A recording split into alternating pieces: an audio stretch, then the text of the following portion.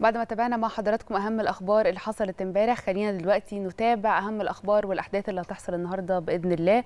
وأبرزها حجاج بيت الله الحرام هيرموا الجمرات في أول أيام التشريق والمجازر مستمرة في فتح أبوابها على مستوى الجمهورية مجانا أمام أضاحي المواطنين. أيضا وزارة الصحة بتواصل تطبيق خطة التأمين الطبي خلال الاحتفالات بعيد الأضحى المبارك.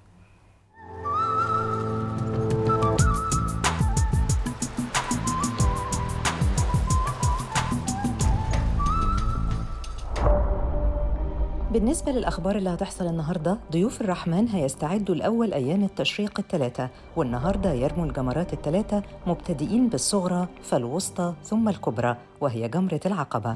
برضو النهاردة المجازر مستمرة في فتح أبوابها على مستوى الجمهورية مجانا أمام أضاحي المواطنين مع توفير كل الإجراءات الطبية والبيئية لذبح الأضاحي. كمان النهاردة بتواصل وزارة الصحة تطبيق خطة التأمين الطبي خلال الاحتفالات بعيد الأضحى المبارك بجميع محافظات الجمهورية. الخطة بتتضمن الدفع ب 2119 سيارة إسعاف مجهزة على الطرق والمحاور السريعة والميادين بكافة المحافظات والأماكن اللي بتشهد تجمعات المواطنين.